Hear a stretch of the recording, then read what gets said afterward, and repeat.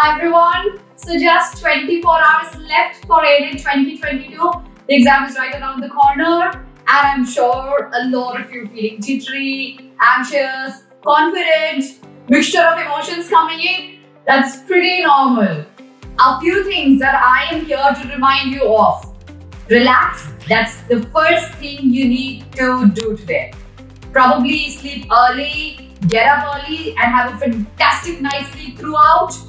Make sure that your equipment is ready, everything, your pen, pencil, your admit card, everything is in place together. You can probably go out, have a light walk, get some fresh air, watch something pretty light on TV. You can watch Friends, listen to some light music, chirpy one that keeps your sanity back on track, and have a light meal so that you don't upset your stomach before the examination today.